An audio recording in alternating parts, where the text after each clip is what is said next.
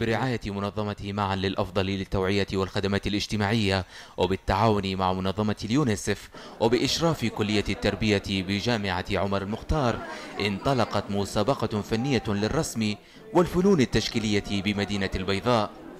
هذا المعرض بإشراف منظمة معا للأفضل بالمشاركة مع مؤسسة اليونسف للأمومة والطفولة ويهدف المعرض آه، إلى تنمية مهارات الأطفال في الرسومات وخلق حالة إبداعية في المجتمع الذي يفتقر إلى الجو الثقافي والإبداعي فيعتبر الرسم آه، أحد أحد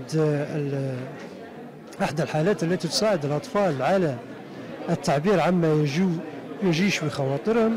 ساهمت جامعة عمر المختار في احتضان هذا المنشط تحقيقا لدور الجامعات في خدمة المجتمع. أهمية هذا المعرض آه، الذي نتواجد نحن في هذا المكان آه، أهميته هو آه، جعل أو وضع أو إعطاء الفرصة للمشاركين لعرض أعمالهم تشجيعهم أيضا آه، اهتمام بهذا المجال في آه، والمجالات الأخرى في الفنون التشكيلية. حيث ضم المعرض العديد من الرسومات بمختلف الخامات لجميع المشاركين. بالنسبة للمشاركة في المعرض آه، معرض جميل. المشاركة كانت جميلة. الهدف منها إدماج مرحلة الطفولة.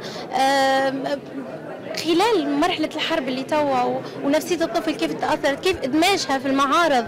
ويعني كنوع من الترفيه ونوع من تنمية مواهب الطفل.